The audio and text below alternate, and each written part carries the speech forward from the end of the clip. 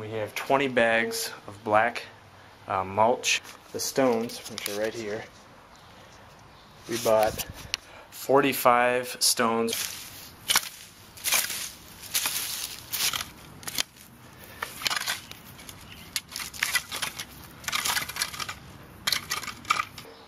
It does have a chart right on here for um, what depth you want to go with the mulch and how many square feet it will cover.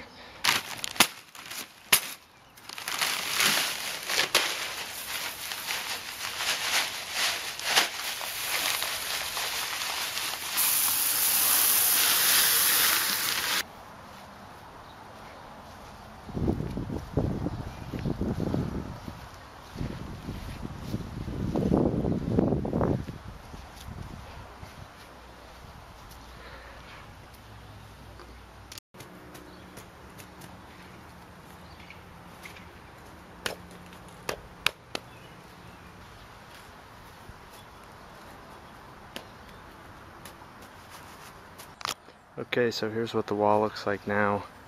Um, I just ran out of the black tarp. You can see there's an area back there and around the back side of the bushes. I don't know if we're going to go by uh, an entire roll or if we could just use plastic garbage bags and fill in areas like this and there.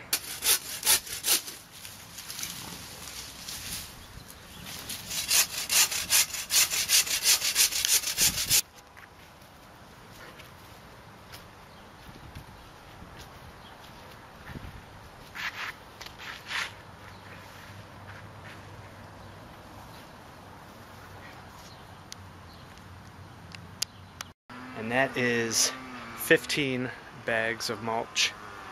And we have it all covered. Um, we have five bags left over. We're gonna do this area right here. We're gonna do it right now. We got to move some of the plants back. We'll put in uh,